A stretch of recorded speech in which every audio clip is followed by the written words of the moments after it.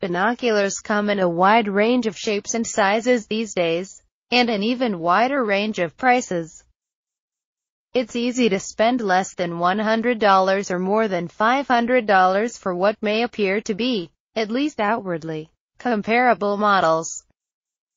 While they may look the same, they are probably quite different on the inside. Recently, the binocular market has seen a flood of giant binoculars at prices that were unheard of just a few years ago.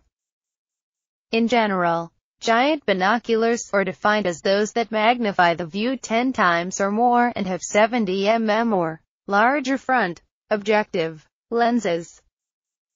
It used to be that the least expensive giant binoculars cost in excess of $150, even $200.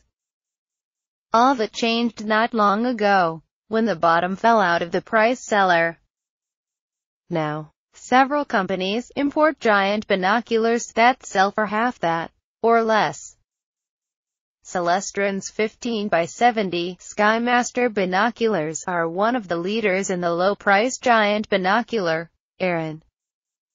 They certainly sound good on paper.